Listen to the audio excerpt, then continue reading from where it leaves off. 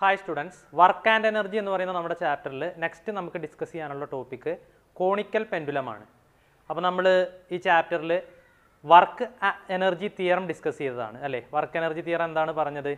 Work done to move an object from a point to another point is always equal to the kinetic energy difference between those two points W B is equal to K B minus K A അതാണ് നമ്മൾ work energy തിയറത്തിൽ പറഞ്ഞത്. അപ്പോൾ നമ്മൾ work energy theorem ഒരു conical പെൻഡുലത്തിൽ apply ചെയ്ത് കഴിഞ്ഞാൽ അല്ലേ? അതിന്റെ കൈനറ്റിക് എനർജിയുമായിട്ട് ബന്ധപ്പെട്ട എന്ത് ഇൻഫർമേഷനാണ് നമുക്ക് കിട്ടുക? അതാണ് നമ്മൾ പരിശോധിക്കുന്നത്. അപ്പോൾ അതിന് മുൻപേ എന്താണ് കോണിക്കൽ പെൻഡുലം എന്നറിയണം. കോണിക്കൽ പെൻഡുലം എന്ന് പറയുമ്പോൾ ഒരു പൈവട്ടുമായിട്ട് ഒരു സ്ട്രിങ് അറ്റാച്ച് ചെയ്തിട്ടുണ്ടാവും. ആ സ്ട്രിങ്ങിന്റെ അതർ എൻഡിൽ ഒരു മാസ് സസ്പെൻഡ് ചെയ്തിട്ടുണ്ടാവും. ഓക്കെ ഒരു സിമ്പിൾ പെൻഡുലം പോലെ തന്നെ. പക്ഷേ സിമ്പിൾ പെൻഡുലം ഒന്നില്ലെങ്കിൽ ബാക്ക് ആൻഡ് ഫോർത്ത് അല്ലെങ്കിൽ ടു ആൻഡ് ഫ്രോ അല്ലേ? ഓസിലേഷനാണ് എക്സിക്യൂട്ട് ചെയ്യുക. ഇതങ്ങനെയല്ല. ഇതെന്ത് ചെയ്യാന്നറിയോ ഒരു സർക്കുലാർ പാത്തിലൂടെ നമുക്ക് ഈ ബോബിനെ വേണമെങ്കിൽ ഇങ്ങനെ റൊട്ടേറ്റ് ചെയ്യിപ്പിക്കാം. അങ്ങനെ ചെയ്യാമല്ലോ അല്ലേ? ഈ പൈവട്ടിനെ അബൌട്ടായിട്ട് പൈവട്ടിനെ അലോങ് ആയിട്ട് ഒരു ആക്സിസ് എടുത്തു. ആക്സിന് അബൌട്ടായിട്ട് എന്ത് ചെയ്യാണ് ഒരു സർക്കുലാർ പാത്തിൽ ഈ ബോബ് ഇങ്ങനെ സർക്കുലാർ മോഷൻ എക്സിക്യൂട്ട് ചെയ്യുകയാണെങ്കിൽ അത്തരം പെൻഡുലത്തിനെയാണ് നമ്മൾ കോണിക്കൽ പെൻഡുലം എന്ന് പറയുക. അല്ലേ? അപ്പോൾ അത് സ്വെപ്റ്റ് ചെയ്യുന്ന ആ ഒരു വോളിയം നോക്കിക്കഴിഞ്ഞാൽ അതൊരു കോണിന് സിമിലർ ആയിരിക്കും. അല്ലേ? കോൺ എന്ന് പറയുമ്പോൾ നോക്കി നോക്കി ഒരു സർക്കിൾ താഴത്തുണ്ട് അല്ലേ? ഒരു ഒരു വെർട്ടക്സ് മുകളിലുണ്ട് അല്ലേ? ഒരു കോൺ. ഒരു കോണായിരിക്കും അത് സ്വെപ്റ്റ് ചെയ്യുന്ന ആ ഒരു വോളിയം എന്ന് പറയുന്നത്. അത്തരം പെൻഡുലത്തിനെയാണ് നമ്മൾ കോണിക്കൽ പെൻഡുലം എന്ന് പറയുക. അപ്പോൾ ഇവിടെ നമ്മൾ അങ്ങനെയുള്ള ഒരു കോണിക്കൽ പെൻഡുലം കൺസിഡർ ചെയ്തിരിക്കുന്നു. ആ കോണിക്കൽ പെൻഡുലത്തിന്റെ ബോബ് മാസ് എന്ന് പറയുന്നത് എം ആണ്. ഓക്കെ അത് മൂവ് ചെയ്യുന്ന ബോബ് മൂവ് ചെയ്യുന്ന ആ സർക്കിളിന്റെ റേഡിയസ് എന്ന് പറയുന്നത് ആറാണ് ഇനി അതിന്റെ ആ ഒരു റൊട്ടേഷണൽ മോഷന്റെ ആംഗുലാർ വെലോസിറ്റി എന്ന് പറയുന്നത് ഒമേഗയാണ്. അപ്പോൾ അത്തരത്തിലൊരു കോണിക്കൽ പെൻഡുലമാണ് നമ്മൾ കൺസിഡർ ചെയ്തിട്ടുള്ളത്. നോക്ക് here a conical pendulum of which bob having mass M executing it circular motion along a circular path of radius R with constant angular velocity omega constant angular velocity ഒമേഗയിൽ constant radius R ഉള്ള ഒരു സർക്കിളിന് along ആയിട്ട് conical pendulum M mass ഉള്ള ബോബോട് കൂടിയിട്ടുള്ള conical pendulum ഇങ്ങനെ circular motion execute ചെയ്തുകൊണ്ടിരിക്കുകയാണ്. Okay അപ്പോൾ അങ്ങനെയാണെങ്കിൽ ഇവിടെ കൈനറ്റിക് എനർജി എത്രയാണ് വരിക എന്നുള്ളതാണ്. കൈനറ്റിക് എനർജി നമുക്കറിയാം ഹാഫ് എം വി സ്ക്വയർ ആണ് സർക്കുലാർ മോഷനിൽ വി എന്ന് പറയുന്നത് ആർ ഒമേഗ അല്ലേ? വി സ്ക്വയർ എന്ന് പറയുമ്പോൾ ആർ ഒമേഗ സ്ക്വയർ എന്നാണ് വരിക. ഓക്കെ അപ്പോൾ ഇവിടെ പിന്നെ കൈനറ്റിക് എനർജി വരുന്നത് half M R omega square ആണ്. എം കോൺസ്റ്റന്റ് ആണ് mass of the bob R radius of the circle is constant omega constant angular വെലോസിറ്റിയിലാണ് circular motion execute ചെയ്യുന്നത്. അതുകൊണ്ട് അതും കോൺസ്റ്റന്റ് ആണ്. അപ്പോൾ അങ്ങനെ നോക്കുമ്പോൾ ഈ kinetic energy half M R omega square എന്തായിരിക്കും? ഇവിടെ കോൺസ്റ്റന്റ് ആയിരിക്കും. ഓക്കെ അപ്പോൾ നോക്ക്. ഇവിടെ here kinetic energy K is equal to half M R omega square is constant because R omega and M R constants here ഇനിയാണ് നമ്മളിവിടെ work energy theorem apply ചെയ്യുന്നത്. Work energy theorem apply ചെയ്യുന്നതിന് മുൻപായിട്ട് ഈ circular പാത്തിൽ രണ്ട് points ഞാൻ consider ചെയ്തു. A എന്ന് പറയുന്ന ഒരു പോയിന്റും ബി എന്ന് പറയുന്ന ഒരു പോയിന്റും അല്ലേ? അപ്പോൾ ഈ എയിൽ നിന്ന് ബിയിലേക്ക് ഈ ഒരു ബോബ് ഇങ്ങനെ സർക്കുലർ മോഷൻ എക്സിക്യൂട്ട് ചെയ്തിട്ട് എത്താൻ ആവശ്യമായിട്ടുള്ള വർക്ക് എന്ന് പറയുന്നത് എത്രയായിരിക്കും? ഡബ്ല്യു ബി ആയിരിക്കും. Work done on the bob to reach at B from A W B A അല്ലേ? വർക്ക് എനർജി തിയർ അനുസരിച്ചിട്ട് that is equal to kinetic energy difference between these two points A and B അപ്പോൾ എത്ര വരിക? K B minus K ആയിരിക്കും work energy തിയർ അനുസരിച്ചിട്ട് അത് അല്ലേ? അപ്പോൾ applying work energy theorem between points A and B will get W B is equal to K B minus K A okay work done to reach at b from a is equal to kinetic energy difference between a and b. Wb is equal to kb minus ka ഇനി നമുക്കറിയാം W B A എന്ന് പറയുന്നത് അല്ലേ work done to move object from A to B ആണ്. അതെന്ന് പറഞ്ഞു കഴിഞ്ഞാൽ നമുക്കറിയാം integral A to B F dot D R ആണ്. പ്രത്യേകം ശ്രദ്ധിക്കുക ഇതൊരു ടു ഡയമെൻഷണൽ മോഷനാണ് അല്ലേ? അതായത് ഈ ഒരു പ്ലെയിനിൽ ഈ സർക്കിൾ കിടക്കുക ഒരു പ്ലെയിനിലായിരിക്കും ആ പ്ലെയിനിന് റെസ്ട്രിക്റ്റ് ചെയ്തിട്ടുള്ള ഒരു ടു ഡയമെൻഷണൽ മോഷനാണ് അതുകൊണ്ട് തന്നെ നമ്മൾ integral A to B F dot D R എന്നാണ് എഴുതുന്നത്. ഓക്കെ ഡി എക്സ് എന്ന് എഴുതില്ല അല്ലേ? ഡി ആർ എന്ന് എഴുതുക. ടു ഡയമെൻഷണൽ മോഷനാണ് വരുന്നത്. ഒന്നിലധികം ഡയമെൻഷൻസ് ഉണ്ട്. അപ്പോൾ ഇനി ശ്രദ്ധിക്കേണ്ടത് എന്താണെന്ന് അറിയോ ഇവിടെ ഈ ബോബിൽ രണ്ട് ഫോഴ്സസ് ആണ് ആക്ട് ചെയ്യാനുള്ള സാധ്യത. ഒന്ന് ഗ്രാവിറ്റേഷണൽ ഫോഴ്സ് ആണ്. അല്ലേ? ഇങ്ങനെ ഗ്രാവിറ്റേഷണൽ ഫോഴ്സ് രണ്ട് ഈ സ്ട്രിങ് ഇതിൽ പ്രയോഗിക്കുന്ന ടെൻഷനാണ് ടി എന്ന് പറയുന്ന ടെൻഷൻ അല്ലേ? ഇപ്പോൾ ഇവിടെയാണ് നിൽക്കുന്നതെങ്കിൽ ഇങ്ങനെ ഗ്രാവിറ്റേഷണൽ ഫോഴ്സ് ഇങ്ങനെ താഴ്ത്തേക്ക് ടെൻഷൻ കണ്ടോ? ഇങ്ങോട്ട്. ബി എന്ന് പറയുന്ന പോയിന്റിലാണ് നിൽക്കുന്നതെങ്കിൽ. ഓക്കെ ഇത് രണ്ടും ഈ ഗ്രാവിറ്റേഷണൽ ഫോഴ്സ് ഡബ്ല്യു ആവട്ടെ ടെൻഷൻ ടി ആയിക്കോട്ടെ ഈ രണ്ട് ഫോഴ്സസും ഇവിടെ നമ്മളൊരു എലമെന്ററി ഡിസ്റ്റൻസ് ഓരോ പോയിന്റിലും നമ്മളൊരു എലമെന്ററി ഡിസ്റ്റൻസ് അതാണല്ലോ ഡി ആർ എന്ന് പറയുന്നത്. ആ ഡി ആറിന് എപ്പോഴും പെർപെൻഡിക്കുലർ ആയിരിക്കും. Both these forces W and T gravitational force അല്ലേ? W and tension T are perpendicular to the elementary distance dr at everywhere on the circular path. ആ circular പാത്തിന്റെ എല്ലായിടത്തും അതുപോലെയാ അല്ലേ? അപ്പോൾ അതുകൊണ്ട് തന്നെ നമുക്ക് here force acting on the bob are gravitational force W and tension by the string T F എന്ന് പറയുന്നതിൽ അപ്പോൾ ഡബ്ല്യു ടി ആണ് ഉള്ളത്. ബോത്ത് ദീസ് ഫോഴ്സസ് ഈ രണ്ട് ഫോഴ്സസും എന്താണ്? Are perpendicular to elementary distance D R D ആറിന് പെർപെൻഡിക്കുലർ ആണ് ഈ ഫോഴ്സ് മൊത്തത്തിൽ നമുക്ക് പറയാം. അപ്പോൾ എഫ് ഡോട്ട് ഡി ആർ ചെയ്യുമ്പോൾ എത്രയും വരിക? Therefore F dot D R is equal to F D R cos ninety അല്ലേ വരിക? ഡോട്ട് പ്രൊഡക്റ്റ് ആണ്. പരസ്പരം പെർസെന്റേജ് ആയതുകൊണ്ട് ആംഗിൾ നയന്റി വരും അതിന്റെ ഇടയിൽ. അപ്പോൾ F D R cos ninety cos ninety നമുക്ക് സീറോ ആണെന്ന് പറയാം. അപ്പോൾ അത് എത്ര വരിക? സീറോ ഓക്കെ അപ്പോൾ ഈ F dot D R zero ആയിട്ട് പോയി. അപ്പോൾ W B is equal to എത്രയാണ് നമുക്ക് കിട്ടുക? Integral A to B F dot D R is also equal to zero ഇനി നമ്മൾ അപ്പോൾ ഈ ഡബ്ല്യു ബി എസ് സീറോ ആണ് നമുക്ക് കിട്ടി.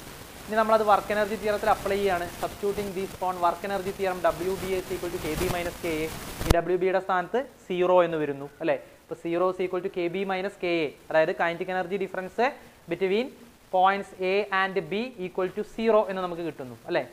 ദർഫോർ ഈ മൈനസ് കെ ഇങ്ങോട്ട് വരുമ്പോൾ K is equal to K B എന്ന് കിട്ടുന്നു. അപ്പോൾ നമുക്ക് എ ബി നമ്മൾ കൺസെപ്റ്റ് ചെയ്തിട്ടുള്ള രണ്ട് പോയിന്റ്സ് ആണ്. ആ രണ്ട് പോയിന്റ്സിലും ഈ പറയുന്ന ബോബിന്റെ കൈനറ്റിക് എനർജി എന്താണ്? ഈക്വൽ ആണ്. ഓക്കെ ഇത് ഈ രണ്ട് പോയിന്റിന്റെ കഥ മാത്രമല്ല ഈ പാത്തിൽ ഏതൊരു രണ്ട് പോയിന്റ് എടുത്തു കഴിഞ്ഞാലും അല്ലെങ്കിൽ ഏത് പോയിന്റ്സ് എടുത്തു കഴിഞ്ഞാലും അവിടെയൊക്കെ കൈനറ്റിക് എനർജി എന്തായിരിക്കും? ഈക്വൽ ആയിരിക്കും. കൈനറ്റിക് എനർജി സെയിം ആയിരിക്കും. കൈനറ്റിക് എനർജി കോൺസ്റ്റന്റ് ആയിരിക്കും.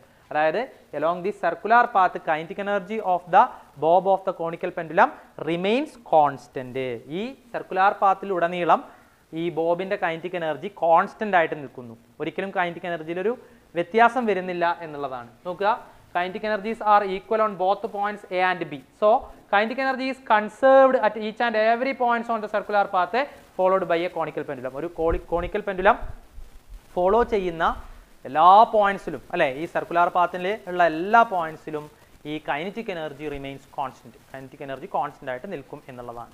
ഓക്കെ അപ്പോൾ അതാണ് കോണിക്കൽ പെൻഡുലുമായിട്ട് ബന്ധപ്പെട്ടിട്ട് പറയാനുള്ളത്.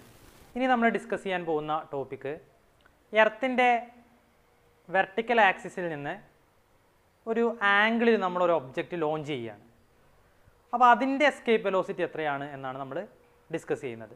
നേരത്തെ നമ്മളൊരു എസ്കേപ്പ് വെലോസിറ്റി ഡിസ്കസ് ചെയ്തിട്ടുണ്ടായിരുന്നു.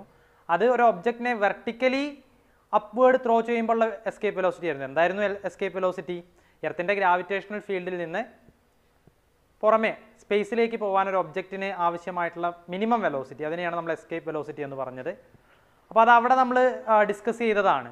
ഓക്കെ വെർട്ടിക്കൽ ആക്സിസിന് ലോങ് ആയിട്ടാണ് ഒബ്ജക്റ്റ് ത്രോ ചെയ്യുന്നത് അല്ലെങ്കിൽ ലോഞ്ച് ചെയ്യുന്നതെങ്കിൽ അതിന്റെ എസ്കേപ്പ് വെലോസിറ്റി നമുക്ക് കിട്ടിയിട്ടുണ്ടായിരുന്നു. One point one into ten days to four meter per second എന്നൊക്കെയാണ് നമുക്ക് കിട്ടിയത്. പക്ഷേ ഇവിടെ നമ്മൾ അങ്ങനെ വെർട്ടിക്കലി അപ്വേഡ്സ് അല്ല ത്രോ ചെയ്യുന്നത്. വെർട്ടിക്കൽ ആക്സിസിൽ നിന്ന് ഒരു ആംഗിൾ ചെരിഞ്ഞാണ് നമ്മൾ ഒബ്ജക്റ്റിനെ ലോഞ്ച് ചെയ്യുന്നത്. അപ്പോൾ എസ്കേപ്പ് വെലോസിറ്റി എങ്ങനെയാണ് വരിക എന്നാണ് നമ്മൾ ഡിസ്കസ് ചെയ്യുന്നത്. ഓക്കെ അപ്പോൾ നമ്മൾ ഡിസ്കസ് ചെയ്യുന്ന ടോപ്പിക്ക് നോക്കുക. എസ്കേപ്പ് വെലോസിറ്റി ആണ്. Velocity minimum velocity required for the object to escape from the gravitational field of the earth to reach space അതാണ്. When object is launching at an angle with the vertical axis vertical ആക്സിസിൽ നിന്ന് ഒരു angle keep ചെയ്യുന്ന രീതിയിൽ launch ചെയ്യുമ്പോൾ ഉള്ള escape velocity അതാണ് നമ്മൾ ഡിസ്കസ് ചെയ്യുന്നത്. അപ്പോൾ ഇതാണ് നമ്മുടെ എർത്ത് എർത്തിന്റെ റേഡിയസ് ആർ ഇ അല്ലേ? Six point four into ten raise to six metre per metre ആണ് അല്ലേ? Radius of the earth okay അപ്പോൾ ഇതാണ് വെർട്ടിക്കൽ ആക്സിസ് ആ വെർട്ടിക്കൽ ആക്സിസിൽ നിന്നാ ഇവിടെ നിന്നുകൊണ്ട് അല്ലെ എർത്തിന്റെ സർഫസിൽ നിന്നുകൊണ്ട് ആ ഒരു ആൽഫ ആംഗിളിൽ കണ്ടോ? ആൽഫ ആംഗിളിൽ നമ്മളൊരു എം മാസ് ഉള്ള ഒബ്ജക്റ്റിനെ ത്രോ ചെയ്യാണ് അല്ലെങ്കിൽ ലോഞ്ച് ചെയ്യുകയാണ് ഓക്കെ അപ്പോൾ അങ്ങനെയാണെങ്കിൽ അപ്പോൾ നമുക്ക് ഹിയർ അപ്പോൾ ഇവിടെ ഇങ്ങനെ ഇതാണ് അതിന്റെ അത് ഫോളോ ചെയ്യുന്നൊരു പാത്ത് അല്ലേ? അപ്പോൾ അതിലൊരു എലമെന്ററി ഡിസ്റ്റൻസ് ഞാൻ കൺസിഡർ ചെയ്തിരിക്കുന്നു ഡി ആർ കണ്ടോ? ഡി ആർ എന്ന് പറയുന്ന ഒരു എലമെന്ററി ഡിസ്റ്റൻസ് ഞാൻ കൺസിഡർ ചെയ്തിരിക്കുകയാണ്. അപ്പോൾ ആ ഡി ആറിനെ നമുക്ക് വെക്ചർ ഡി ആറിനെ നമുക്ക് റിസോൾവ് ചെയ്യാൻ പറ്റും. പോളാർ കോർഡിനേറ്റ് സിസ്റ്റ സിസ്റ്റത്തിൽ അനുസരിച്ചിട്ടാണ് നമ്മൾ അതിനെ റിസോൾവ് ചെയ്യുന്നത്. നോക്കുക here elementary distance D R covered by the launched object can be resolved into launched ഒബ്ജക്റ്റിന്റെ ആ ഒരു പാത്തിലെ ഒരു എലമെന്ററി ഡിസ്റ്റൻസ് ആണ് D R vector D R അതിനെ നമ്മൾ റിസോൾവ് ചെയ്യാണ് പോളാർ കോർഡിനേറ്റ് സിസ്റ്റം പ്രകാരം നമ്മൾ റിസോൾവ് ചെയ്യുമ്പോൾ vector D R is equal to D R R cap plus R D theta theta cap ഇവിടെ ആർ ക്യാപ്പ് തീറ്റ ക്യാപ്പ് എന്നൊക്കെ പറയുന്നത് പോളാർ കോർഡിനേറ്റ് സിസ്റ്റത്തിലെ യൂണിറ്റ് വെക്റ്റേഴ്സ് ആണ്. കാർട്ടീഷ്യൻ കോർഡിനേറ്റ് സിസ്റ്റത്തിലെ I cap J cap K cap പോലെയാണ് polar coordinate സിസ്റ്റത്തിലെ ഈ R ക്യാപ്പും തീറ്റ ക്യാപ്പും മ്യൂച്വലി പെർപെൻഡിക്കുലർ ആയിട്ടുള്ള യൂണിറ്റ് വെക്ടേഴ്സ് ആണ്. അപ്പോൾ vector D R D R R cap plus R D theta theta cap എന്ന് എഴുതാം ഇൻ പോളാർ കോർഡിനേറ്റ് സിസ്റ്റം ഇനി ഇവിടെ ഗ്രാവിറ്റേഷണൽ ഫോഴ്സ് ഇതിൽ ആക്ട് ചെയ്യുമല്ലോ അല്ലേ? ഈ ഗ്രാവിറ്റേഷണൽ ഫോഴ്സ് ആക്ട് ചെയ്യുന്നത് along this unit vector R cap ഈ ആർ പോളാർ കോർഡിനേറ്റ് സിസ്റ്റത്തിലെ ഈ ആർ ക്യാപ്പ് യൂണിറ്റ് വെക്ടർ കാണിക്കുന്ന ആ ഡയറക്ഷനിലായിരിക്കും ഈ ഗ്രാവിറ്റേഷണൽ ഫോഴ്സ് ഈ ഒബ്ജക്റ്റിൽ ആക്ട് ചെയ്യുക. ഓക്കെ ദർ ഫോർ അപ്പോൾ അങ്ങ് ഇവിടെ ഡി ആർ എന്ന് പറയുന്ന ഡിസ്റ്റൻസ് മൂവ് ചെയ്യാൻ. ഓക്കെ നമ്മൾ ചെയ്യുന്ന വർക്ക് അല്ലെങ്കിൽ ആ നമ്മൾ ചെയ്യേണ്ട വർക്ക് എന്ന് പറയുന്ന എത്ര വരിക? ഫോഴ്സിന്റെ ഡിസ്പ്ലേസ്മെന്റ് ആണ്. That is here F dot D R വരിക അല്ലെ? Vector F dot vector D R അപ്പോൾ ഇവിടെ നമുക്ക് വെക്ടർ എഫ് നമുക്കറിയാം. അതിന്റെ മാഗ്നിറ്റ്യൂഡ് വരിക എം ആണ് നമ്മുടെ ഒബ്ജക്റ്റിന്റെ മാസ് എങ്കിൽ. Minus G M M by R square R cap ആയിരിക്കും. ഡയറക്ഷൻ അലോങ് ആർ ക്യാപ്പാണ് നമ്മൾ പറഞ്ഞല്ലോ. അപ്പോൾ minus G M M by R square R ക്യാപ്പാണ് vector F വരിക.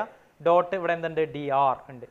ഓക്കെ ഇനി ഇവിടെ ശ്രദ്ധിക്കേണ്ട കാര്യം നമുക്കറിയാം G M by R E square R E R E എന്ന് പറയുന്ന റേഡിയസ് ഓഫ് ദി എർത്ത് ആണ് G M by R E square എന്ന് പറയുന്നത് സ്മോൾ ജി ആണ്. ആക്സിലേഷൻ ഡ്യൂ ടു ഗ്രാവിറ്റി ആണ്. അപ്പോൾ അതനുസരിച്ചിട്ട് ജി എം എന്ന് പറയുന്നത് എത്ര വരിക? ജി ആർ ഇ സ്ക്വയർ എന്ന് വരും അല്ലേ? ഈ ആർ ഇ സ്ക്വയർ ഇങ്ങോട്ട് കൊണ്ടുവന്നു കഴിഞ്ഞാൽ ജി ആർ ഇ സ്ക്വയർ ആവും.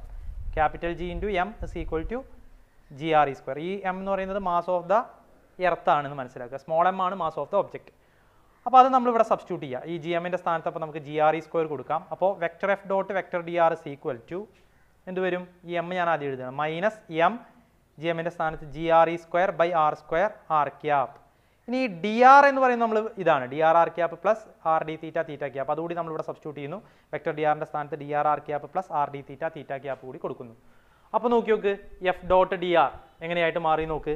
ഇവിടെ നമ്മൾ ശ്രദ്ധിക്കേണ്ടത് നമ്മൾ കാർട്ടീഷ്യൻ കോർഡിനേറ്റ് സിസ്റ്റത്തിൽ പറയാറുണ്ട് I cap dot I cap one ആണ്. J cap dot J cap one ആണ്. K cap dot K cap one ആണ്.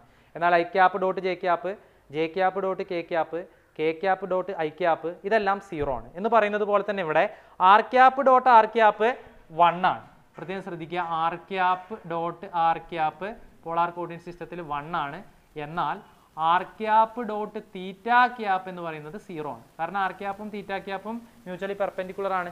അതുകൊണ്ട് കോസ് നയന്റി ആണ് വരിക അല്ലേ? ചെയ്യുമ്പോൾ അപ്പോൾ സീറോ എന്ന് കിട്ടും. R cap dot R cap cos zero ആണ്. രണ്ട് രണ്ടും ഒരേ വെക്ടേഴ്സ് ആണല്ലോ. സീറോ ആണല്ലോ ആംഗിൾ വരിക. അപ്പോൾ R cap dot R cap one ആണ് വരുന്നത്. അപ്പോൾ നോക്കുക അപ്പോൾ എന്തായാലും ഇവിടെ അതുകൊണ്ട് തന്നെ ഈ R cap dot R cap എന്ന് വരുന്ന ആദ്യത്തെ ടേം അവിടെ എക്സിസ്റ്റ് ചെയ്യും. R cap dot R cap one ആയിട്ട് ആ ടേം എന്ത് വരും? Minus M G R E square by R square D R ആ ടൈം എക്സിസ്റ്റ് ചെയ്യും. പക്ഷേ ആർ ക്യാപ്പ് ഡോട്ട് തീറ്റ ക്യാപ്പാണ് അടുത്തതിൽ വരുന്നത്. അല്ലേ? R cap dot R theta cap zero ആയതുകൊണ്ട് ഈ ടേം ക്യാൻസൽ ചെയ്ത് പോകും. അല്ലേ? അപ്പോൾ ഇവിടെ നോക്കുക. അപ്പോൾ നമുക്ക് കിട്ടുക minus M G R E square R square D R എന്നാണ് ഇത് ചെയ്യുമ്പോൾ കിട്ടുക അതിന്റെ ആർ എച്ച് എസിൽ അപ്പോൾ നമുക്ക് എന്താ കിട്ടുന്നത്? നോക്കുക. Therefore F dot D R is equal to minus M G R E square by R square D R എന്ന് കിട്ടുന്നു. അപ്പോൾ ഇതെന്ന് പറഞ്ഞു കഴിഞ്ഞാൽ ശരിക്ക് നമ്മുടെ ഒബ്ജക്റ്റിനെ ഡി ആർ എന്ന് പറയുന്ന ഒരു എലമെന്ററി ഡിസ്റ്റൻസ് മൂവ് ചെയ്യിപ്പിക്കാൻ ചെയ്യേണ്ട വർക്കാണ് എന്നാലും നമ്മൾ ഇതിനെ ഈ ഈ ഒരു പോയിന്റിൽ നിന്ന് ആർ എന്ന് പറയുന്ന അല്ലേ ഒരു ഡിസ്റ്റൻസിലേക്ക് പറഞ്ഞയക്കുകയാണെന്ന് കരുതുക. അപ്പോൾ നമ്മൾ എന്ത് ചെയ്യണം? ഈ വർക്ക് ഈ ആർ ഇ എർത്തിന്റെ സർഫസ് ആർ ഇ ആണല്ലോ അല്ലേ? ആർ ഇയിൽ നിന്ന് ആറ് വരെ നമ്മൾ എന്ത് ചെയ്യണം? ഈ ഒരു വർക്ക് ചെയ്യണം അല്ലേ? അപ്പോൾ എന്ത് വരും? അപ്പോൾ നമ്മൾ ഇതിനെ ഇന്റഗ്രേറ്റ് ചെയ്യേണ്ടി വരും. ബോത്ത് സൈഡ് ഇന്റഗ്രേറ്റ് ചെയ്യണം. Total work done to move this object from surface of the earth to R distance away from the earth okay അപ്പോൾ that is integral R E to R F dot D R is equal to എന്താ വരുന്നത് നോക്ക്? R E integral R E to R രണ്ട് സൈഡിലും integral R E to R കൊടുക്കുകയാണ്. അപ്പോൾ integral R E to R minus M G R E square by R square D R എന്ന് കിട്ടുന്നു. ഇനി ആർ എച്ച് എസ് നമുക്ക് വേണമെങ്കിൽ integrate ചെയ്യാം. അതിൽ minus M G R E square എന്ന് പറയുന്ന മൂന്നാളുകളും കോൺസ്റ്റൻസ് ആണ് can be taken outside പിന്നെ integral R E to R one by R square D R ആണ് വരിക. വൺ ബൈ ആർ സ്ക്വയറിന്റെ ഇന്റഗ്രൽ നമുക്കറിയാം മൈനസ് വൺ ബൈ ആർ ആണ്. അപ്പോൾ minus M G R E square minus one by R limit apply ചെയ്യണം R E to R അപ്പോൾ integral R E to R F dot D R ആണ് L H എസിൽ R H S നോക്കുക equal to minus M G R E square ഇവിടെ limit apply ചെയ്യുമ്പോൾ വരും minus ഇവിടെ ഉള്ളതുകൊണ്ട് തന്നെ one by R E minus one by R വരും അല്ലേ? അപ്പോൾ ഇതാണ്. ഇനി നമുക്ക് വർക്ക് എനർജി തിയർ അനുസരിച്ചിട്ട് നമുക്കറിയാം. Integral R E to R F dot D R എന്ന് പറയുന്ന total work to move object from earth surface to the distance R ആണ്. അതെന്ന് പറയുന്നത് എന്തായിരിക്കും? Kinetic energy difference between those two points ആണ്. അപ്പോൾ കൈനറ്റിക് എനർജി ഡിഫറൻസ് ഇവിടെ വരിക. ഇവിടെ ആർ ഡിസ്റ്റൻസ് എത്തുന്ന സമയത്തുള്ള വെലോസിറ്റി വി ആണെന്ന് കരുതുക. അപ്പോൾ ഫൈനൽ കൈനറ്റിക് എനർജി എന്ത് വരും ഹാഫ് എം വി സ്ക്വയർ വരും. ഇനി ഇനീഷ്യൽ വെലോസിറ്റി അതായത് ഈ ആർ ഇ എന്ന് പറയുന്ന ആ ഒരു പൊസിഷനിൽ നിൽക്കുന്ന സമയത്തുള്ള വെലോസിറ്റി എന്ന് പറയുന്നത് വി സീറോ ആണെന്ന് കരുതുക. ലോഞ്ച് ചെയ്യുന്ന വെലോസിറ്റി അല്ലെ വി സീറോ ആണെങ്കിൽ initial kinetic energy half M V zero square വരും. അപ്പോൾ work done is equal to kinetic energy difference അതനുസരിച്ചിട്ട് വർക്ക് എനർജി തിയർ അനുസരിച്ചിട്ട് integral R E to R F dot D R is equal to half M V square minus half M V zero square എന്നാണ് കിട്ടുന്നത്. അപ്പോൾ നമുക്ക് എന്ത് ചെയ്യാം? ഇവിടെ integral R E to R F dot D ആറിന്റെ സ്ഥാനത്ത് അപ്പോൾ അത് സബ്സ്റ്റിറ്റ്യൂട്ട് ചെയ്യാം. Half M V square minus half M V zero square that is equal to minus M G R E square into one by R E minus one by R എന്ന് കിട്ടുന്നു. Okay നോക്കുക. One by two M V square minus one by two M V zero square is equal to minus M G R E square into one by R E minus one by R ഇനി നോക്കുക. നമ്മൾ ഈ launch ചെയ്തിട്ടുള്ള ഈ ഒബ്ജക്റ്റിനെ സ്പേസിൽ എത്തിക്കുക എന്നുള്ളതുകൊണ്ട് ഉദ്ദേശിക്കുന്നത് ഈ ആർ എന്ന് പറയുന്നത് ഇൻഫിനിറ്റി ആവുക എന്നുള്ളതാണ്. ഈ ആർ ഇൻഫിനിറ്റി ആവുന്ന സമയത്ത് നമ്മൾ ജസ്റ്റ് അത് സ്പേസിൽ എത്തിച്ചാൽ മതി എന്ന് കരുതുക. അപ്പോൾ അങ്ങനെയാണെങ്കിൽ നമ്മൾ ലോഞ്ച് ചെയ്യുന്നതിന് ഒരു മിനിമം വെലോസിറ്റി അത് ജസ്റ്റ് എത്തിക്കാനുള്ള ഒരു മിനിമം വെലോസിറ്റി അല്ലേ? അത് വി സീറോ എന്ന് പറയുന്നത് എന്തായിട്ട് മാറും? എസ്കേപ്പ് വെലോസിറ്റി ആയിട്ട് മാറും. അപ്പോൾ V zero is equal to V escape ആണ്. നമ്മൾ നേരത്തെ പറഞ്ഞതാണ് അതൊക്കെ. വെർട്ടിക്കലി ലോഞ്ച് ചെയ്യുമ്പോഴുള്ള കേസിന് സിമിലർ ആയിട്ട് തന്നെയാണ് ഇവിടെയും വരിക. വി സീറോ എന്ന് പറയുന്നത് വി എസ്കേപ്പ് ആവും. ജസ്റ്റ് എത്തിച്ചാൽ മതിയെങ്കിൽ സ്പേസിൽ ജസ്റ്റ് എത്തിച്ചാൽ മതിയെങ്കിൽ അവിടെ വെലോസിറ്റി വി സീക്വൽ ടു എത്ര ആയിരിക്കും സീറോ ആയിരിക്കും. അപ്പോൾ നോക്കുക. At R is equal to infinity V is equal to zero and V zero is equal to V escape ആണ്. അല്ലേ? അപ്പോൾ അത് നമ്മളിവിടെ സബ്സ്റ്റിറ്റ്യൂട്ട് ചെയ്ത് കഴിഞ്ഞാൽ ഇവിടെ നോക്ക് half M V square V zero ആയതുകൊണ്ട് ഇത് പോയി. പിന്നെ ഇവിടെ എന്താ ഉള്ളൂ? Minus half M V escape square L H എസിൽ അതേ ഉള്ളൂ. Minus half M V escape square that is equal to minus M G R E square into one by R E minus one by infinity R infinity ആണല്ലോ. അങ്ങനെ വന്നു. One by infinity എന്ന് പറയുന്നത് എത്രയാണ്? One by infinity നമുക്കറിയാം zero ആണ്. അല്ലേ? അപ്പോൾ നമ്മുടെ equation minus half M B escape square is equal to minus M G R E square into one by R E മാത്രമായിട്ട് മാറി. ഇനി ഇവിടെ നോക്കി നമുക്ക് മൈനസ് എം രണ്ട് സൈഡിലുണ്ട് നമുക്ക് ക്യാൻസൽ ചെയ്ത് കളയാം. ഇനി ഇവിടെ നമുക്ക് R E square into one by R ഇവിടെ ആർ ഇ മാത്രമാവും. അപ്പോൾ നമ്മളിവിടെ ചെയ്യുമ്പോൾ ഈ ടു നമുക്ക് അങ്ങോട്ട് കൊണ്ടുപോകും ചെയ്യാം അല്ലേ? ബൈ ടു അപ്പോൾ എന്ത് വരും? V escape square is equal to two G R E എന്നായിട്ട് വരും അല്ലേ? അപ്പോൾ അങ്ങനെയാണെങ്കിൽ വി എസ്കേപ്പ് എത്ര വരും? Escape velocity V escape is equal to root two G R E എന്ന് കിട്ടി. ഇത് ഏതിന് സിമിലർ ആണ്? നമ്മൾ വെർട്ടിക്കലി ലോഞ്ച് ചെയ്തതിന് സിമിലർ ആയിട്ടുള്ള എസ്കേപ്പ് വെലോസിറ്റി തന്നെയാണ് വെർട്ടിക്കൽ ആക്സിസിൽ നിന്ന് ഒരു ആംഗിൾ കീപ്പ് ചെയ്യുന്ന രീതിയിൽ ലോഞ്ച് ചെയ്താലും നമുക്ക് കിട്ടുന്നത് root two G R E ജിയുടെ സ്ഥാനത്ത് നയൻ പോയിന്റ് എയ്റ്റും ആർ ഇയുടെ സ്ഥാനത്ത് six point four into ten raise to സിക്സും സബ്സ്റ്റിറ്റ്യൂട്ട് ചെയ്ത് കഴിഞ്ഞാൽ നമുക്ക് എസ്കേപ്പ് വെലോസിറ്റി നമുക്ക് വെർട്ടിക്കലി ലോഞ്ച് ചെയ്തതിന് സിമിലർ ആയിട്ട് അതേപോലെ തന്നെ one point one into ten raise to four metre per second എന്ന് കിട്ടുന്നു. അപ്പോൾ നമുക്ക് ഒരു റോക്കറ്റിന് നമ്മൾ വെർട്ടിക്കലി സെൻഡ് ചെയ്ത് കഴിഞ്ഞാലും ഒരു ആംഗിളിൽ സെൻഡ് ചെയ്ത് കഴിഞ്ഞാലും അതിന്റെ എസ്കേപ്പ് വെലോസിറ്റിക്ക് മാത്രം മാറ്റമൊന്നുമില്ല one point one into ten raise to four metre per second തന്നെയാണ്. അത്രയെങ്കിലും വെലോസിറ്റി ഉണ്ടെങ്കിലാണ് അതിന് എർത്തിന്റെ ഗ്രാവിറ്റേഷണൽ ഫീൽഡ് മറികടന്നിട്ട് സ്പേസിൽ എത്താൻ സാധിക്കുള്ളൂ എന്നുള്ളതാണ്. അതിൽ കൂടുതലായ കുഴപ്പമില്ല. ഓക്കെ. അതിൽ കുറവാവാൻ പാടില്ല. എന്നാൽ ഒരിക്കലും എർത്തിന്റെ ഗ്രാവിറ്റേഷണൽ ഫീൽഡ് വിട്ടിട്ട് പുറത്തു പോകാൻ സാധിക്കില്ല. താഴത്തേക്ക് തന്നെ റോക്കറ്റ് വീഴുമെന്നുള്ളതാണ് ഓക്കെ. അപ്പോൾ നമുക്ക് ഈ രണ്ട് രീതിയിൽ വേണമെങ്കിലും ഒരു ആംഗിളിൽ വേണമെങ്കിൽ ലോഞ്ച് ചെയ്യാം. വെർട്ടിക്കലി അപ്വേഡ് വേണമെങ്കിൽ ലോഞ്ച് ചെയ്യാം. രണ്ടും കുഴപ്പമില്ല. പക്ഷേ നമ്മൾ കൂടുതലായിട്ട് റോക്കറ്റ്സിനെ വെസ്റ്റ് ടു ഈസ്റ്റ് ആണ് ലോഞ്ച് ചെയ്യാറുള്ളത്. അത് ലോഞ്ച് ചെയ്യാനുള്ള ഒരു കാരണം എന്താ എന്ന് വെച്ച് കഴിഞ്ഞാൽ അങ്ങനെ തന്നെ ലോഞ്ച് ചെയ്യാനുള്ള കാരണം എന്താണെന്ന് വെച്ച് കഴിഞ്ഞാൽ എർത്ത് റൊട്ടേറ്റ് ചെയ്യുന്നതും വെസ്റ്റ് ടു ഈസ്റ്റ് ആണ്. ഓക്കെ അപ്പോൾ നമ്മൾ റോക്കറ്റ് ലോഞ്ച് ചെയ്യുന്നതും വെസ്റ്റ് ടു ഈസ്റ്റ് ഒരു കുറച്ച് ചരിച്ചിട്ടാണെങ്കിൽ അവിടെ സംഭവിക്കുക. ഈ എർത്തിന്റെ ഈ റൊട്ടേഷണൽ വെലോസിറ്റി കൂടി ഈ റോക്കറ്റിന്റെ വെലോസിറ്റിയുമായിട്ട് ആഡ് ചെയ്യപ്പെടും. അങ്ങനെ റോക്കറ്റിന്റെ വെലോസിറ്റി നന്നായിട്ട് ഇൻക്രീസ് ചെയ്യും. ഓക്കെ അപ്പോൾ അങ്ങനെ പെട്ടെന്ന് തന്നെ നമുക്ക് എന്ത് ചെയ്യാൻ സാധിക്കും? കുറച്ചുകൂടി ഈസി ആയിട്ട് നമുക്ക് ഈ പറയുന്ന എസ്കേപ്പ് വെലോസിറ്റി അച്ചീവ് ചെയ്യാൻ സാധിക്കും എന്നുള്ളത് എന്നുള്ളതാണ്. അതുകൊണ്ടാണ് നമ്മൾ വെസ്റ്റ് ടു ഈസ്റ്റ് ലോഞ്ച് ചെയ്യുന്നത് എപ്പോഴും. ഓക്കെ അപ്പോൾ നോക്കുക ഇവിടെ എന്താ പറയുന്നത്? Rockets are launched from west to east because earth is rotating from west to east so earth's rotation speed added with the speed of rocket hence it can achieve escape velocity easily okay അല്ലാതെ നമ്മൾ ഒരു ആംഗിളിൽ west to east launch ചെയ്യുമ്പോൾ escape velocity കുറയുന്നൊന്നുമില്ല. Escape velocity vertically launch ചെയ്യുമ്പോഴും angle launch ചെയ്യുമ്പോഴും ഒക്കെ same ആണ്. പക്ഷേ വെസ്റ്റ് ടു ഈസ്റ്റ് ലോഞ്ച് ചെയ്യുമ്പോൾ എർത്തിന്റെ ഈ റൊട്ടേഷൻ വെലോസിറ്റി കൂടി റോക്കറ്റിന്റെ വെലോസിറ്റിയുമായിട്ട് ആഡ് ചെയ്തിട്ട് ഈ റോക്കറ്റിന് കുറച്ചുകൂടി ഈസി ആയിട്ട് ഈ എസ്കേപ്പ് വെലോസിറ്റി അച്ചീവ് ചെയ്യാൻ സാധിക്കുന്നു എന്നുള്ളതാണ്. ഓക്കെ അപ്പോൾ ഇതാണ് നമ്മൾ എർത്ത് എർത്തിൽ നിന്ന് ഒരു ആംഗിളിൽ അല്ലെ വെർട്ടിക്കൽ ആക്സിസിന് അബൌട്ടായിട്ട് ഒരു ആംഗിളിൽ ലോഞ്ച് ചെയ്യുന്ന ഒരു റോക്കറ്റ് ആവട്ടെ ഒരു ഒബ്ജക്റ്റിന്റെ ആവട്ടെ എസ്കേപ്പ് വെലോസിറ്റിയുമായിട്ട് ബന്ധപ്പെട്ടിട്ട് പറയാനുള്ളത്. ഓക്കെ ഇന്ന് നമ്മൾ ഡിസ്കസ് ചെയ്ത രണ്ട് എക്സാമ്പിൾസിലും നമ്മൾ വർക്ക് എനർജി തിയറം അപ്ലൈ ചെയ്തിട്ടുണ്ടായിരുന്നു. കോണിക്കൽ പെൻഡുലാവട്ടെ നമ്മൾ എർത്തിന്റെ വെർട്ടിക്കൽ ആക്സിസിൽ നിന്ന് ഒരു ആംഗിൾ കീപ്പ് ചെയ്യുന്ന രീതിയിൽ ഒരു ഒബ്ജക്റ്റ് ലോഞ്ച് ചെയ്യുമ്പോഴുള്ള അതിന്റെ എസ്കേപ്പ് വെലോസിറ്റി കാണുന്ന കേസിലാവട്ടെ വർക്ക് എനർജി തിയറം നമ്മൾ അപ്ലൈ ചെയ്തു. അപ്പോൾ മെക്കാനിക്സിൽ ഏതെല്ലാം സ്ഥലത്താണ് നമ്മൾ വർക്ക് എനർജി തിയറം എഫക്റ്റീവായിട്ട് അപ്ലൈ ചെയ്യാൻ പറ്റുക എന്നുള്ളതാണ്. അപ്പോൾ ഏറ്റവും ആദ്യം നമുക്ക് കൺസർവേറ്റീവ് ഫോഴ്സ് ഫീൽഡിൽ വർക്ക് എനർജി തിയറം എഫക്റ്റീവായിട്ട് അപ്ലൈ ചെയ്യാം.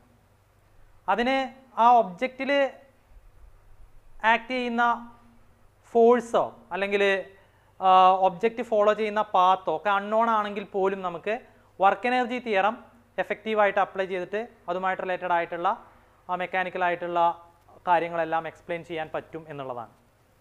ഓക്കെ കൺസർവേറ്റീവ് ഫോഴ്സ് അപ്പോൾ എന്താണെന്ന് അറിയണം. ഒരു ഫോഴ്സ് ചെയ്യുന്ന വർക്ക് പാത്ത് ഇൻഡിപെൻഡന്റ് ആണ്.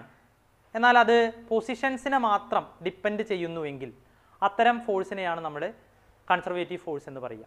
If work done by a force is path independent and only depends upon the initial and final positions of the object such forces are known as conservative force okay path എന്തായാലും പ്രശ്നമല്ല. Initial and final പൊസിഷനെ മാത്രമാണ്. Position dependent മാത്രമാണ്. ഒരു force ചെയ്യുന്ന വർക്കെങ്കിൽ അത്തരം ഫോഴ്സിനെ നമ്മൾ conservative force എന്ന് പറയും. നമ്മൾ ഗ്രാവിറ്റേഷണൽ ഫോഴ്സ് അതുപോലെ കൂളം ഫോഴ്സ് ഇതെല്ലാം കൺസർവേറ്റീവ് ഫോഴ്സസിന് എക്സാമ്പിൾസ് ആണ്. ഇനി നോൺ കൺസർവേറ്റീവ് ഫോഴ്സ് ഉണ്ട്. അല്ലേ? ഫ്രിക്ഷന് അതുപോലെ തന്നെ വിസ്കസ് ഫോഴ്സ് തുടങ്ങിയിട്ടുള്ള ഫോഴ്സുകൾ അതിന്റെ പ്രത്യേകത എന്താണ്? അവ ചെയ്യുന്ന വർക്ക് പാത്ത് ഡിപ്പെൻഡന്റ് ആണ്. ഓക്കെ പൊസിഷൻസ് ഡിപ്പെൻഡും ഡിപ്പെൻഡന്റും ആണ് പാത്ത് ഡിപ്പെൻഡന്റും ആണ് ഓക്കെ സച്ച് ഫോഴ്സസിനെയാണ് നമ്മൾ നോൺ കൺസർവേറ്റീവ് ഫോഴ്സ് എന്ന് പറയുക. Okay if work done by a force is path dependent and position dependent such forces are known as non-conservative forces. Okay examples friction viscous force etc ഈ non conservative force ഫീൽഡിൽ ഈ പറയുന്ന work energy theorem അത്ര എഫക്റ്റീവായിട്ട് നമുക്ക് apply ചെയ്യാൻ കഴിയില്ല. കാരണം എന്താണെന്നറിയോ? ഫ്രിക്ഷൻ ആവട്ടെ അതുപോലെ വിസ്കസ് ഫോഴ്സ് ആവട്ടെ അതിന്റെയൊക്കെ ഫീൽഡിൽ കുറേ എനർജി എന്ത് ചെയ്യാനുള്ള സാധ്യതയുണ്ട് ഡിസിപ്പേറ്റ് ചെയ്ത് പോകാനുള്ള സാധ്യതയുണ്ട്. അല്ലേ? ഇപ്പോൾ ഫ്രിക്ഷൻ ആണെങ്കിൽ ഒരു ഒബ്ജക്റ്റ് ഒരു സർഫസിലൂടെ ഇങ്ങനെ സ്ലൈഡ് ചെയ്ത് നീക്കുന്ന സമയത്ത് ഫ്രിക്ഷൻ കാരണം കുറേ എനർജി ഹീറ്റിന്റെ ഒക്കെ ഫോമിൽ അല്ലേ? ഡിസിപ്പേറ്റ് ചെയ്ത് നഷ്ടപ്പെടാനുള്ള സാധ്യതയുണ്ട്. അപ്പോൾ അത് കാരണം final kinetic energy minus initial kinetic energy ചെയ്യുമ്പോൾ ചിലപ്പോൾ നമുക്ക് വർക്ക് ഡൺ ആയിട്ട് കിട്ടിക്കൊള്ളണമെന്നില്ല. നമ്മൾ ആ ഡിസിപ്പേറ്റ് ചെയ്ത് പോകുന്ന എനർജി കൂടി ആഡ് ചെയ്യുമ്പോഴാണ് അവിടെ ആ ഒരു വർക്കും എനർജിയും ഈക്വൽ ആയിട്ട് നമുക്ക് കിട്ടുള്ളൂ. അല്ലേ? അവിടെ ഡിസിപ്പേറ്റ് ചെയ്ത് പോകുന്ന എനർജി എത്രയെന്ന് കൂടി അറിയണം. അല്ലേ? അങ്ങനെ മാത്രം അങ്ങനെ അത് അറിഞ്ഞാൽ മാത്രമാണ് നമുക്ക് ഈ നോൺ കൺസർവേറ്റീവ് ഫോഴ്സ് ഫീൽഡിൽ നോൺ നമ്മുടെ വർക്ക് എനർജി തിയറം അപ്ലൈ ചെയ്യുന്നതുകൊണ്ട് എഫക്റ്റീവ്നെസ് ഉണ്ടാവുള്ളൂ. ഓക്കെ പക്ഷേ ഈ ഡിസിപ്പേറ്റ് ചെയ്ത് പോകുന്ന എനർജി മെഷർ ചെയ്യാനൊക്കെ കുറച്ച് ഡിഫിക്കൽട്ട് ആണ്. അതുകൊണ്ട് തന്നെ നോൺ കൺസർവേറ്റീവ് ഫോഴ്സിൽ വർക്ക് എനർജി തിയറം അപ്ലൈ ചെയ്യുക എന്ന് പറഞ്ഞു കഴിഞ്ഞാൽ കുറച്ച് കോംപ്ലിക്കേറ്റഡ് ആണ് എന്നുള്ളതാണ്. ഓക്കെ അപ്പോൾ അത് വളരെ ഇമ്പോർട്ടന്റ് ആണ്. നമുക്ക് കൺസർവേറ്റീവ് ഫോഴ്സ് ഫീൽഡിലെ നമ്മൾ ഫോഴ്സോ അല്ലെങ്കിൽ പാത്ത് ഫോളോഡ് ബൈ ദ ഒബ്ജക്റ്റൊക്കെ അൺനോൺ ആണെങ്കിൽ പോലും നമുക്ക് വർക്ക് എനർജി തിയർ അപ്ലൈ ചെയ്യുക എന്നുള്ളതാണ്. ന്യൂട്ടന്റെ second law F equal to M A പോലും അപ്ലൈ ചെയ്യണമെങ്കിൽ നമുക്ക് ഫോഴ്സിനെ കുറിച്ചിട്ടോ അല്ലെങ്കിൽ ഈ പറയുന്ന ഒബ്ജക്റ്റ് ഫോളോ ചെയ്യുന്ന പാത്തിനെ കുറിച്ചിട്ടോ ഒക്കെ കൃത്യമായിട്ടുള്ള ധാരണ വേണമായിരുന്നു. പക്ഷേ വർക്ക് എനർജി തിയറം അപ്ലൈ ചെയ്യണമെങ്കിൽ ഈ പറയുന്ന ഫോഴ്സോ അല്ലെങ്കിൽ നമ്മുടെ പാത്ത് ഫോളോഡ് ബൈ ദ ഒബ്ജക്റ്റോ ഒന്നും അതിനെക്കുറിച്ചൊന്നും ധാരണ ഇല്ലെങ്കിൽ പോലും നമുക്ക് work energy theorem conservative force ഫീൽഡിൽ അത് ഗ്രാവിറ്റേഷണൽ ഫീൽഡ് ആവട്ടെ ഇലക്ട്രിക് ഫീൽഡ് ആവട്ടെ മാഗ്നറ്റിക് ഫീൽഡ് ആവട്ടെ അവിടെയൊക്കെ നമുക്ക് അപ്ലൈ ചെയ്യാം എന്നുള്ളതാണ്. പക്ഷേ നോൺ കൺസർവേറ്റീവ് ഫോഴ്സ് ഫീൽഡിൽ അത് പറ്റുകയുമില്ല. അതാണ് ഒന്നാമത്തെ ഒരു ആപ്ലിക്കേഷനായിട്ട് മനസ്സിലാക്കേണ്ടത്. ആപ്ലിക്കേഷൻസ് ഓഫ് വർക്ക് എനർജി രീതിയിലാണ് പറയുന്നത്. It can be applied in conservative force field even if the path followed by the object is unknown object follow ചെയ്യുന്ന പാത്ത് അൺനോൺ ആണെങ്കിൽ പോലും നമുക്ക് കൺസർവേറ്റീവ് ഫോഴ്സ് ഫീൽഡിൽ വർക്ക് എനർജി തിയറം അപ്ലൈ ചെയ്യാം. But work energy theorem in non conservative force field is not effective പക്ഷേ non conservative force ഫീൽഡിൽ work energy തിയറത്തിന്റെ application അത്ര തന്നെ എഫക്റ്റീവ് അല്ല എന്നുള്ളതാണ്. അപ്പോൾ കൺസർവേറ്റീവ് ഫോഴ്സ് എന്താണ്? നോൺ കൺസർവേറ്റീവ് ഫോഴ്സ് എന്താണ് എന്ന് അറിഞ്ഞിരിക്കണം പരീക്ഷയ്ക്ക് ചോദിക്കാറുണ്ട്. Conservative force if work done by a force is path independent and only depends upon the initial and final position such force are conservative forces ഒരു ഫോഴ്സ് ചെയ്യുന്ന work അത് follow ചെയ്യുന്ന path independent ആണെങ്കിൽ അല്ലേ? അത് ഫോളോ ചെയ്യുന്ന path പാത്തിനെ ആശ്രയിക്കുന്നില്ലെങ്കിൽ അല്ലേ? പിന്നെ എന്തിനെ മാത്രമാണ് ആശ്രയിക്കുന്നത്? Initial and final positions of the object അതിന്റെ ഇനീഷ്യൽ ഫൈനൽ പൊസിഷൻസിനെ മാത്രമാണ് ആശ്രയിക്കുന്നതെങ്കിൽ അത്തരം ഫോഴ്സിനെ നമ്മൾ കൺസർവേറ്റീവ് ഫോഴ്സ് എന്നാണ് വിളിക്കുക. Example gravitational force coulomb force എന്നിവയൊക്കെയാണ്. അപ്പോൾ അവയുടെ ഫീൽഡിലെ വർക്ക് എനർജി തിയറം എഫക്റ്റീവായിട്ട് അപ്ലൈ ചെയ്യാം എന്നുള്ളതാണ്.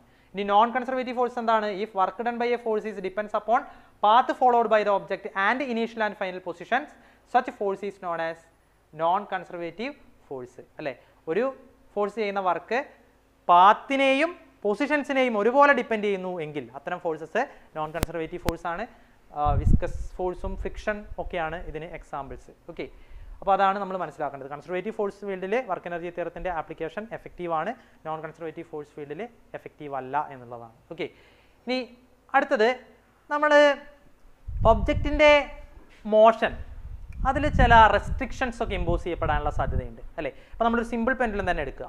ആ സിമ്പിൾ പെൻഡുലത്തിന് എല്ലാ ഭാഗത്തേക്കും ഓസിലേറ്റ് ചെയ്യാനൊന്നും സാധിക്കില്ല അല്ലേ? അതിന്റെ ആ ഒരു മോഷനെ റെസ്ട്രിക്റ്റ് ചെയ്യുന്നൊരു ഫാക്ടർ അവിടെ ആ ഒരു പിന്നെ സ്ട്രിങ്ങിന്റെ ലെങ്ത്ത് എന്നുള്ളതാണ്. ആ സ്ട്രിങ്ങിന്റെ ലെങ്ത്ത് ആ ലെങ്ത്തിന്റെ അടിസ്ഥാനത്തിൽ ആ ഒരു നിശ്ചിത റീജിയണിൽ മാത്രമാണ് അതിന് എന്ത് ചെയ്യാൻ സാധിക്കുള്ളൂ? ഓസിലേറ്റ് ചെയ്യാൻ സാധിക്കുന്നുള്ളൂ അല്ലേ? അതിന്റെ മോഷനെ റെസ്ട്രിക്റ്റ് ചെയ്തിരിക്കുന്ന സാധനം അവിടെ ആ സ്ട്രിങ്ങിന്റെ ലെങ്ത്ത് എന്നുള്ളതാണ്. ഇനിയിപ്പോൾ സിമ്പിൾ പെൻഡിലെ മാറ്റി നിർത്തുക. നമ്മളൊരു ആടിനെ ഒരു കയറിൽ കെട്ടിയിട്ടിരിക്കുകയാണെന്ന് കരുതുക. ആ ആടിന് ആ ഒരു മൂവ് ചെയ്യാൻ പറ്റുന്ന ആ ഒരു ഏരിയയ്ക്ക് ഒരു പരിധിയുണ്ട് അല്ലേ? ഒരു റീജിയന് പുറത്തേക്ക് ആടിന് പോകാൻ സാധിക്കില്ല. കാരണം ഈ ആടിന്റെ മോഷനെ എന്ത് ചെയ്തിരിക്കുകയാണ്? ആ ഒരു ലെങ്ത് ഓഫ് ദ സ്ട്രിങ് എന്ത് ചെയ്തിരിക്കുന്നു? റെസ്ട്രിക്റ്റ് ചെയ്തിരിക്കുന്നു. അങ്ങനെ മോഷനിൽ റെസ്ട്രിക്ട് ഇമ്പോസ് ചെയ്യപ്പെടുന്ന റെസ്ട്രിക്ഷൻസിനെ നിയന്ത്രണങ്ങളെയാണ് നമ്മൾ കൺസ്ട്രെയിൻസ് എന്ന് പറയുക. Okay restrictions imposed on the motion of object non constraints അപ്പോൾ ഇവിടെ കൺസ്ട്രെയിൻഡ് മോഷനിലും നമുക്ക് എന്ത് ചെയ്യാൻ സാധിക്കും? വർക്ക് എനർജി തിയറം അപ്ലൈ ചെയ്യാൻ പറ്റും എന്നുള്ളതാണ്. ഓക്കെ മോഷൻസ് ചില റെസ്ട്രിക്ഷൻസ് ഇമ്പോസ് ചെയ്യപ്പെട്ടിട്ടുള്ള കൺസ്ട്രെയിൻഡ് മോഷൻ ആണെങ്കിൽ പോലും നമുക്ക് വർക്ക് എനർജി തിയറം അതിൽ അപ്ലൈ ചെയ്യാം എന്നുള്ളതാണ്. ഓക്കെ നോക്കുക. Work energy theorem can be applied even if the constraints affect the motion അല്ലേ കൺസ്ട്രെയിൻസ് മോഷൻ എഫക്റ്റ് ചെയ്യുകയാണെങ്കിലും നമുക്ക് വർക്ക് എനർജി തിയറം അപ്ലൈ ചെയ്യാം എന്നുള്ളതാണ്. Using constrained equation trajectory followed by the object can be found and we can apply work energy theorem effectively to find kinetic energy difference of object between the two positions നമ്മൾ constrained motions ആണെങ്കിൽ ആ constraint ഉപയോഗിച്ചുകൊണ്ട് നമുക്ക് constraint equations ഉണ്ടാക്കാം. ആ constraint ഇക്വേഷൻസിൽ നിന്ന് നമുക്ക് എന്ത് ചെയ്യാം? Trajectory followed by the object object follow ചെയ്യുന്ന ട്രജക്ടറി നമുക്ക് കണ്ടുപിടിക്കാം. അല്ലേ?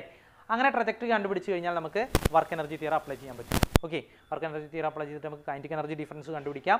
കൈന്റിക് എനർജി ഡിഫറൻസ് കണ്ടുപിടിച്ച് കഴിഞ്ഞാൽ നമുക്ക് അതിന്റെ മെക്കാനിക്സ് ഒക്കെ നമുക്ക് എക്സ്പ്ലെയിൻ ചെയ്യാൻ പറ്റും എന്നുള്ളതാണ്. ഇപ്പോൾ കൈന്റിക് എനർജി ഡിഫറൻസ് നമ്മൾ കണ്ടുപിടിക്കുക. Integral R A to R B F dot D R is equal to K B minus K എന്ന് പറയുന്ന വർക്ക് എനർജി തിയറം അപ്ലൈ ചെയ്തുകൊണ്ടാണ് എന്നുള്ളതാണ്. ഓക്കെ അപ്പോൾ ഈ രണ്ട് കാര്യങ്ങൾ വളരെ ഇമ്പോർട്ടന്റ് ആണ്. വർക്ക് എനർജി തിയറത്തിന്റെ ആപ്ലിക്കേഷൻസിൽ ഒന്ന് കൺസർവേറ്റീവ് ഫോഴ്സ് ഫീൽഡിൽ എഫക്റ്റീവായിട്ട് അപ്ലൈ ചെയ്യാം. നോൺ കൺസർവേറ്റീവ് ഫോഴ്സ് ഫീൽഡിൽ എഫക്റ്റീവായിട്ട് അപ്ലൈ ചെയ്യാൻ കഴിയില്ല.